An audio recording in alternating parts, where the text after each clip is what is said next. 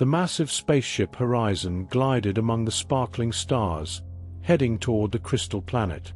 The interior of the ship was modern and technologically advanced, adorned with corridors filled with bright lights. The crew was aware of the seriousness of their mission. They were there to form an alliance with one of the most advanced alien species in the galaxy. Commander Sarah Blake stood on the bridge, looking at the star map. Beside her sat her loyal dogs. Lexi and Max accompanying them were Science Officer Dr. Ethan Ross and Security Chief Captain Liam Torres. Commander Blake, we're five minutes away from the Crystal Planet, Ethan said with a smile.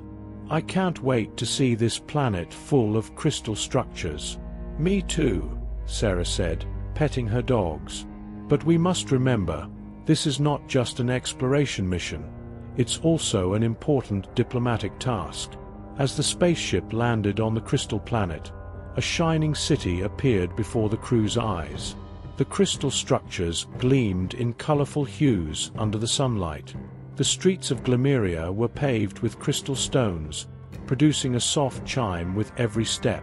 The streets were connected by elegant bridges at different levels. These bridges provided easy access to various parts of the city. Under each bridge flowed clear rivers of crystal water, regulating the city's energy flow and providing tranquility to its inhabitants. The homes in Glemeria were a blend of modern and ancient architecture. Houses were surrounded by crystal walls and equipped with large glass windows. These windows reflected the outside sparkle into the interiors, providing natural lighting. In front of each house were small crystal gardens and light-emitting flowers. Sarah and her team were mesmerized when they arrived at Shalandra, one of the largest and oldest cities of the Kristallians. The Crystal City was one of the galaxy's greatest wonders, with all its splendor and mystery. From a distance, Shalandra shone like a jewel. Enormous crystal towers rose into the sky, shimmering in different colors throughout the day. The Zirconium Tower, the tallest and brightest structure, stood at the city's center. At night, this tower illuminated the entire city and its surroundings like a beacon of light. As Sarah and her team advanced toward Crystal Square, the heart of Shalandra, they were greeted by the Kristallians, the planet's natives. The Kristallians, with their tall and elegant figures and shimmering crystal garments, welcomed them warmly. Air Kale, the leader of the Kristallians, walked towards them. Humans, welcome, he said. We are pleased to see you here. Sarah stepped forward with her team. Air Kale, thank you for your hospitality. We hope to form an alliance for the peace and prosperity of our galaxy. Kale smiled. Our discussions will be successful, he said. As the negotiations continued, Sarah and her team began to mingle with the locals by walking around the planet's streets. However, Sarah's dogs, Lexi and Max, started to behave restlessly. Trusting their instincts, Sarah took this situation seriously. Ethan, our dogs are sensing something, Sarah said worriedly. It's not normal for them to be this uneasy. Ethan nodded. Maybe the energy of the crystal planet is affecting them, but we should still be careful. Guided by the dogs, Sarah and her team moved away from the city into a darker and more secluded area. Here, in a place where even the Kristallians rarely ventured, they felt a dangerous and hostile energy. Lexi and Max stopped at one point and started barking. When Ethan looked where the dogs indicated, he said, There's something here. After their discovery, Sarah reported the situation to Kale. Kale burst into laughter that echoed through the hall. The council members all laughed as well. Kale said, So, you mean to tell us that your dogs have detected a threat that our advanced crystalline radar systems missed? Sarah, raising her voice, retorted, Are you underestimating our dogs' instincts? We humans trust them greatly. They are our most loyal companions. Kale stopped laughing and said, Very well, we trust you. Let's take action then. When they delved deeper into their investigation, they discovered the presence of another race trying to incite conflict between the humans and Kristallians and had infiltrated the planet. Initially, the Kristallians were skeptical of the humans' methods, but Sarah proved how strong the dog's instincts were and that they had found the threat. Kale said, We may have been prejudiced against human methods, but now it is time to unite. Preparing together, the humans and Kristallians combined their forces to fight against the hidden threat. Kale looked at the dogs and asked, Will Lexi and Max join us in the battle? Sarah smiled. Yes, they are part of our team, and their instincts might help us. In the crystal streets of Glemeria, the conflict between the Alliance forces and the Zarathians raged on. Max suddenly found himself facing a dangerous enemy, one of the Zarathians' strongest warriors, Karnak. With his powerful armor and energy sword, Karnak was an intimidating figure. When Max caught the scent of his enemy, he immediately assumed an attack position. Karnak greeted Max with a mocking smile and drew his energy sword. Max advanced cautiously, never taking his eyes off the enemy's movements. In a mocking tone, Karnak said, Do you think a dog can stop me? I will toy with you. Max barked and charged. Karnak swung his sword, deflecting Max's attack, but Max quickly sidestepped and landed a claw strike on Karnak's armor. The surface of the armor was scratched, and Karnak retreated in unexpected pain. Max's first strike had angered Karnak. Karnak swung his energy sword, pushing Max back. Max narrowly avoided the sword's blow, but the energy grazed his leg, leaving a deep wound. Despite the pain, Max continued to fight. Angrily, Karnak said, These minor wounds won't stop you, but my attacks will destroy you. Despite his wounded leg, Max moved swiftly around Karnak, trying to confuse him. Karnak struggled to keep up with Max's speed. Max found an exposed spot and with a powerful bite, tore through Karnak's arm armor, creating a deep wound. Karnak retreated in pain and swung his energy sword more furiously. As the fight intensified, both Max and Karnak suffered serious injuries. Max's leg was bleeding and his movements had slowed, but his determination and resolve remained intact. Karnak was losing strength due to the deep wound on his arm. Max gathered his strength for a final attack. As Karnak brought his energy sword down on Max, Max leaped swiftly onto Karnak. Karnak's sword inflicted a deep wound on Max's shoulder, but Max's powerful bite to Karnak's neck brought him to the ground. As Karnak writhed in pain on the ground, Max stood wounded but triumphant. Karnak attempted a final move, but Max, with his claws, rendered him powerless. The enemy was defeated, but Max was seriously injured. Seeing Max's struggle, Sarah and her team rushed to his aid. Dr. Ethan Ross quickly tried to treat Max's wounds, saying, This dog is truly incredible. Defeating an enemy like Karnak is a major feat. Captain Liam Torres gently petted Max, saying, Great job, Max. Sarah knelt beside Max, saying, You are our hero, Max rest and heal, we still have much to do. Despite the pain, Max responded with a soft bark, satisfied with the victory. At the end of the battle, the humans and Kristallians emerged victorious. The enemy race was completely defeated, and peace was restored to the planet. Kale turned to Sarah and her team, saying, Thanks to you, we have been saved from a great danger. Sarah smiled. We have also realized once again how important our alliance is. Together, we can now build a stronger galaxy. Kale nodded. We apologize for underestimating humans. Though our technology is advanced, your methods and bravery proved much more effective than we imagined. Especially your dogs, he added with a smile. After the war, the Kristallians and humans began organizing exploratory expeditions into the deeper parts of the planet. Sarah and her team visited one of the oldest temples of the Kristallians. Here, they found mysterious inscriptions and statues from the past. Dr. Ethan Ross's eyes lit up as he examined the ancient inscriptions. These inscriptions indicate that the Kristallians fought another galactic war thousands of years ago. This information could help us prepare for future threats. Varys Kale carefully examined the inscriptions.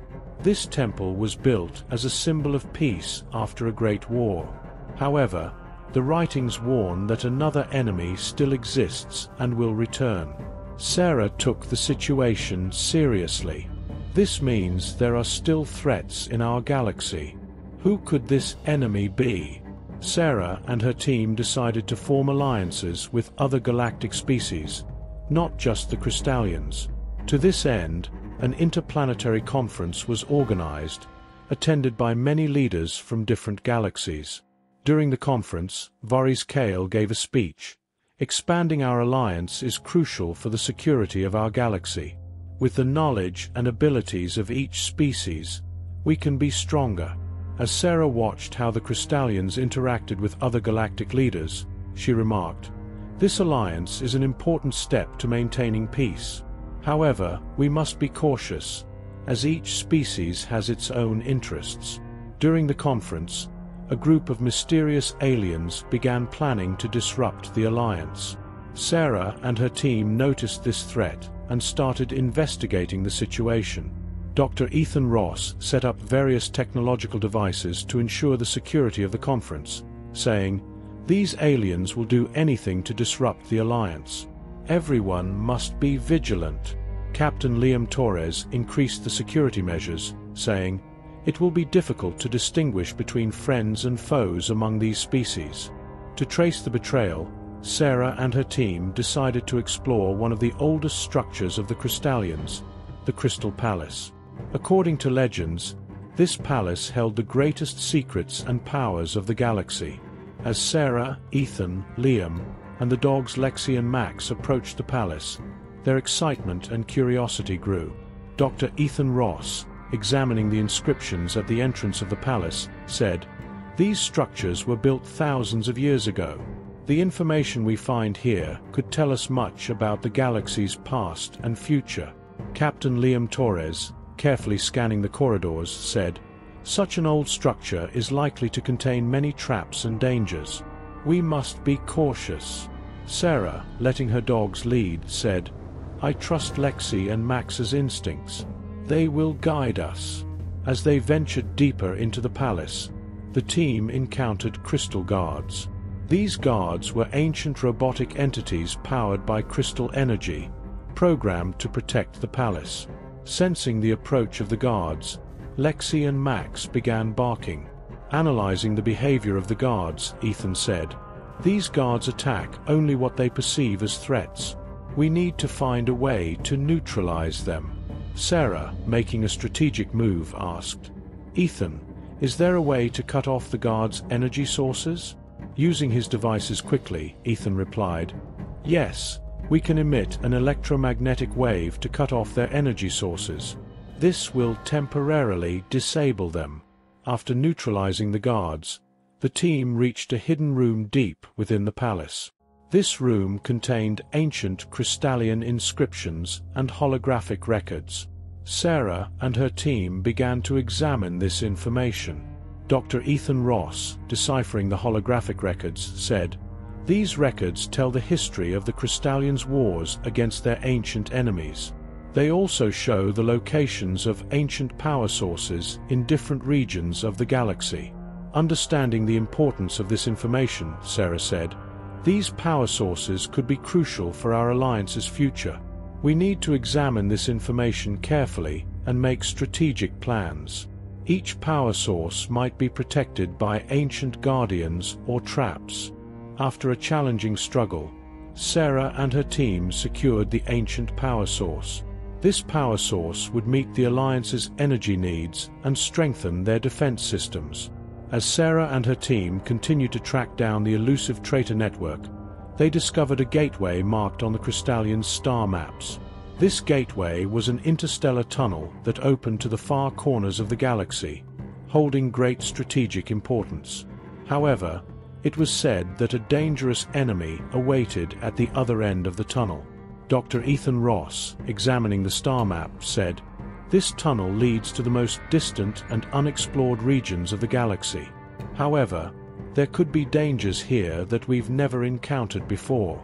Captain Liam Torres, increasing security measures, added, Gaining control of this gateway would be a significant advantage for our alliance. But we must be cautious, as we don't know what awaits us on the other side.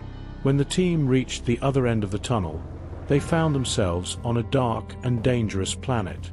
This planet was being used as a base by an ancient enemy and had powerful defense systems enhanced with crystal energy. Lexi and Max sensed the danger and warned the team. Analyzing the planet's energy structure, Ethan said, This planet runs on crystal energy. The defense systems could be very powerful. Sarah, devising a strategic attack plan, instructed, Liam, distract the enemy with your security team. Ethan, try to identify and neutralize the energy sources. Lexi and Max, protect us. The team began fighting against the enemy's powerful crystal defense systems. These systems were filled with laser weapons and traps powered by crystal energy. Sarah and her team made strategic moves to overcome these traps. Captain Liam Torres, leading an attack to distract the enemy, said, These defense systems are very powerful, but so are we. Dr. Ethan Ross, identifying the energy sources, said, Cutting off the energy sources of these systems will neutralize them. But we must be careful, as there could be traps with every step we take. The team bypassed the defense systems and reached the enemy's center. Here, they found the base of the Zarathians, one of the galaxy's most dangerous enemies. Finally, the trail of betrayal had been found. The Zarathians had built a massive war machine using crystal energy. As Lexi and Max approached the enemy's center, they became even more agitated. Trusting her dog's instincts, Sarah said, This is the enemy's strongest defense line, but we can defeat them by working together. When the great battle began, Alliance forces from all over the galaxy joined the fight against the Zarathians. The Kristallians formed a strong defensive line. Leading his soldiers, Captain Liam Torres said, This battle will showcase the strength of our alliance. But we must be careful as the Zarathians are very powerful. Lexi and Max advanced through the enemy lines, identifying the Zarathians' weak points. Sarah, guided by her dogs, organized strategic attacks. At the end of the battle, the Alliance forces achieved a great victory. The Zarathians' base was destroyed, and the Crystal Planet was once again at peace. Sarah and her team had taken a significant step towards securing the galaxy. Varys Kale, thanking Sarah and her team, said, Thanks to your courage and determination, our galaxy has become a safer and more peaceful place. By working together, we can overcome all future challenges, while patting Max on the head. After the council, Sarah and her team embarked on new missions. During these missions, they forged new friendships in different regions of the galaxy and strengthened their alliance. I hope you had a good time. If you liked my story, do not forget to comment and subscribe to my channel. Goodbye. See you in the next story.